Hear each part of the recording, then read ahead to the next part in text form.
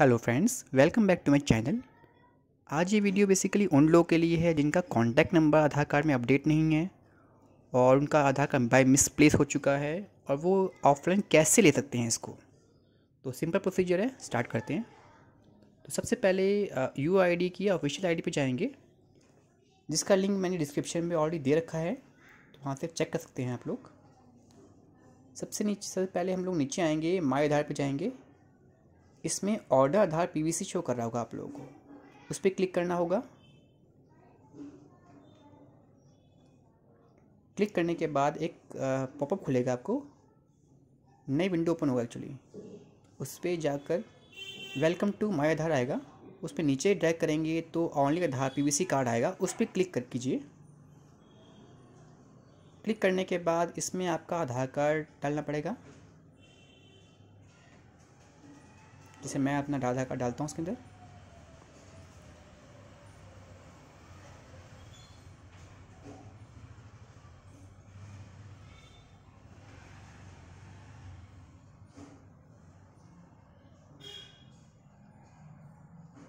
इसके बाद नीचे कैप्चा दे रखा होगा, वो आपको डालना है।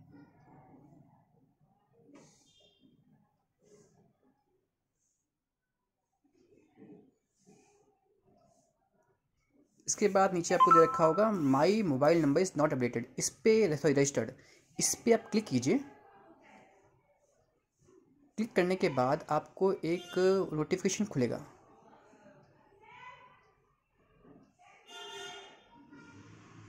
इसमें आपको अपना कॉन्टैक्ट नंबर वो डालना है जो आपके पास इस टाइम होगा प्रेजेंट होगा। इसके बाद सेंड ओटीपी कर दीजिए आप।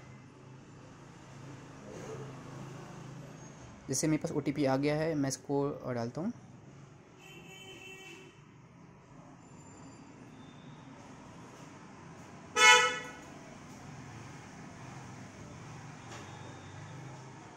इसके बाद नीचे आपको टर्म्स एंड कंडीशन दे रखी होंगी। आप उस पर जाकर क्लिक कीजिए, आपको टर्म्स एंड कंडीशन आपको मेंशन होगा आपको, कितना पेमेंट आपको करना पड़ेगा। पचास रुपये है, कुछ ज़्यादा नहीं है। पचास रुपये करने के बाद आपका ऑफलाइन पाँच से छः दिन में घर पे आ जाएगा आपको। क्लोज कीजिए इसको। इस पर सबमिट की, दो टर्म्स एंड कंडीशन में जाइए क्लिक कीजिए इसको। सबमिट पे जाइए।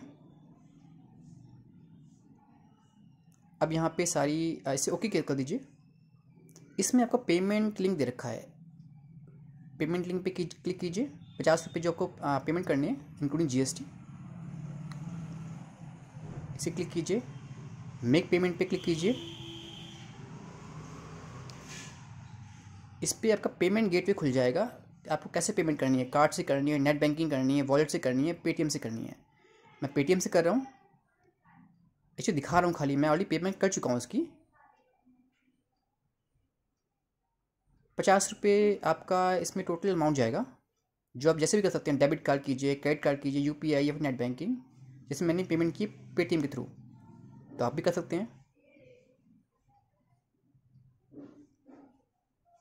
हालाँकि पेमेंट करके मैं दिखा नहीं रहा क्योंकि मैंने ऑलरेडी पेमेंट कर चुका हूँ उसके अंदर।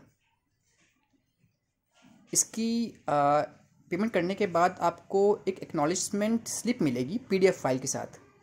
वो भी दिखाता हूँ आपको। मैंने सेव कर लिया डेस्कटॉप पर।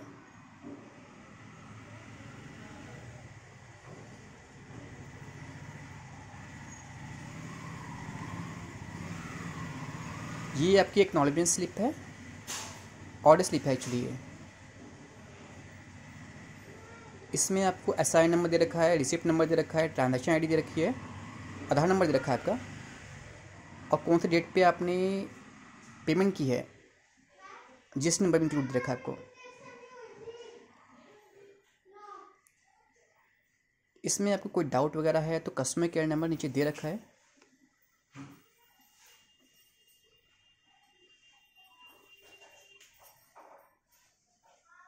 कोई कस्टमर केयर पे फ़ोन कर सकते हैं इसमें? टोल फ्री नंबर है ये। और वीडियो अच्छी लगी तो लाइक कीजिए शेयर कीजिए और सब्सक्राइब करना मत भूलिए। Thank you